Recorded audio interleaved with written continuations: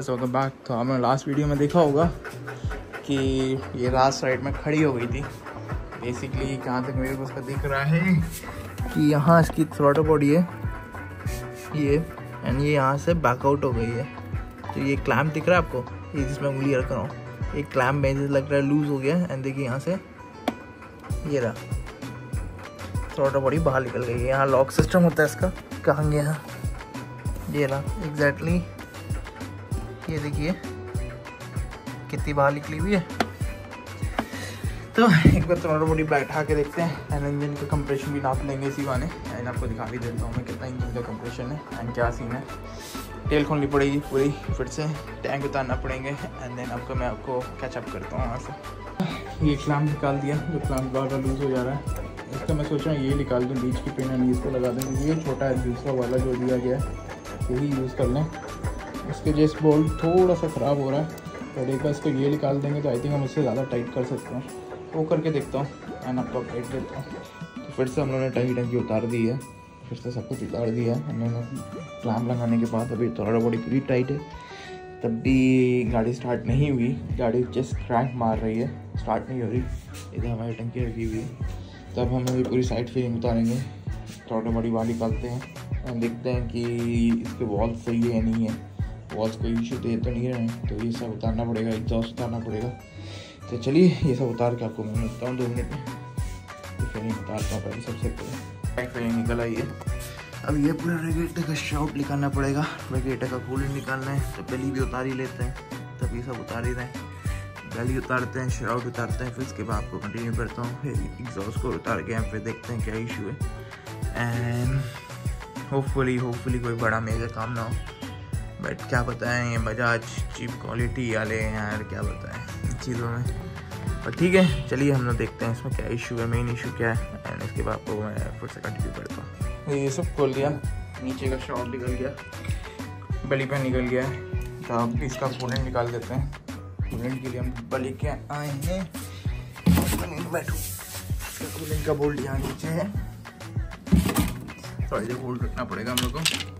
एक सेकंड रुकिए, मैं बोल्ट को स्क्रू कर लूँ। यहाँ टिक गया कोल्ड नहीं निकलेगा अभी। पहले हम लोग को ढक्कन खोलना पड़ेगा। यहाँ से। आने लगा। हम्म। ऊपर से गिरने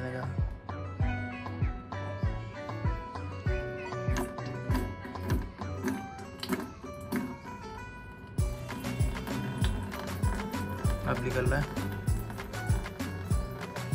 इवन ऊपर से भी निकल आएगा। जो इसका वाटर टैंक है। खोल देते हैं।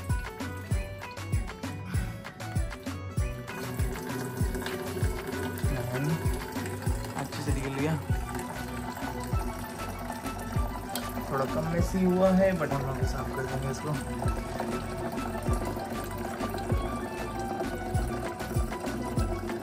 पूरा फुल था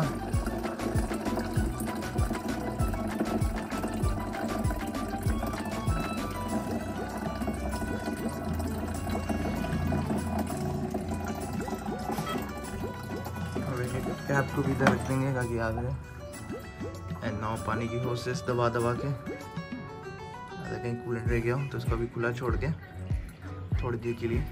तब हम लोग, क्या नाम है, थोड़ा बॉडी निकाल लेते हैं यहाँ से। टिश्यू पेपर कहाँ कहाँ है?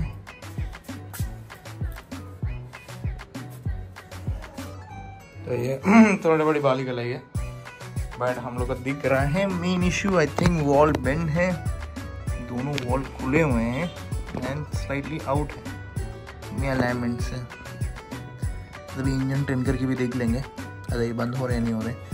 मोस्टली या कैम टूट गया है या वॉल बेंड हो गए अभी एग्जॉस्ट की भी खोल के देख लेते हैं। इनसे भी आइडिया हो जाएगा हम लोग को। वाला एग्जॉस्ट बाहर निकल रहा है हमारा तो एग्जॉस्ट इसका नाम का इसको सही कर दूँगा मैं थोड़े दिन में। अभी टाइम नहीं मिला था। तो ये बॉल्ट खोल दिए हैं, यहाँ से इसका जॉइंट आप यहाँ से देख सकते हैं। ये जॉइंट खोल दिए हैं वायर डिस्कनेक्ट कर दिए तो सेंसर डिस्कनेक्ट हो गया है, जो हमारा एयर बार बताता है, वो एग्जॉस्ट में लगा हुआ है। यहाँ इसका सेंसर एकदम हमारे सस्पेंशन के बीच से जाता है। ठीक है, ये रहा इसका स्टार अब ये नीचे लटका दें क्या? आ जाओ नीचे लो टूटना नहीं। तो ये खोल देते हैं एंड उसके बाद ये टॉप को निकाल लेते हैं। तो वॉल्स बैंड लग रहे हैं, हमने दिखाया था टॉप एग्जॉस्ट निकल आया। अब ये निकाल दिए हैं हैं हम डिस्कनेक्ट हो गए हैं। चीज़ें डिस्कनेक्ट करना शुरू कर दिए थोड़ी देर में सब चीज़ डिस्कनेक्ट करके एंड हम उखाड़ते हैं। पहले आपको वो वॉल वाला दिखाते हैं एग्जॉस्ट की वॉल सही है, नहीं है, फिर मालूम चलेगा ये कहानी। राइट रेगेटर नीचे निकल आया, सब डिस्कनेक्ट हो गया ऊपर से। अब हेडर्स उतारना है हेडर्स उतार के देखते हैं क्या सीन है उसके बाद आप अपडेट करते हैं। ओके अभी बाहर आ गए, ये रहे हेडर्स हेडर्स के बोल्ट वापस लगा रहा हूँ। सब निकल आया है। लाइट ऑन करके दिखाता हूँ आपको मैं। अब चाहिए एक सेकंड होल्ड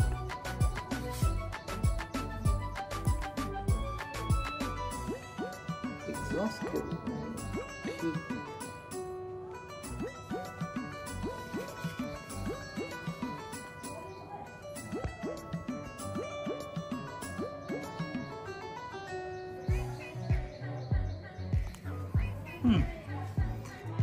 इसका मतलब इनटेक का कैम टूटा है।